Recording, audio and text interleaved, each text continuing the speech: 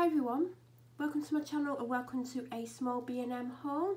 So I have six items but I'll still show you what I got. So the first items as you can see are a packet of paracetamol and a packet of Nurofen. Well they're not Nurofen, they're ibuprofen. I said Nurofen because I typically always get Nurofen. But just pick them up. Then I got this massive tub of Astonish Oxyactive Plus Mrs Hinch uses this and B&M has got a lot of stuff in finally that Mrs Hinch has been showing on her stories for a long time and I can't get my hands on because where I live there's no Poundstretchers and there's no home bargains and that's where she gets a lot of her stuff from. So recently you would have seen some of my B&M hauls I have been able to pick up some bits and pieces. So they also have the washing liquid but I think it was lavender so I didn't pick it up but there's a, there were floor cleaners and all kinds of things so oh 74 washes.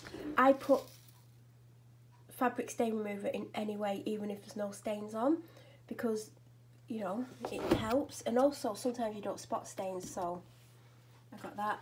I needed custard a few times so I've picked up a custard.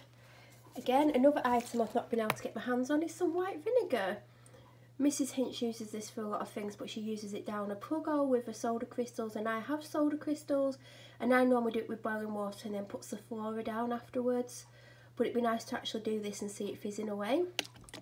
I will use it for other things as well. I should have bought a couple, but I have, well, my cupboards are full, to be honest, with cleaning products.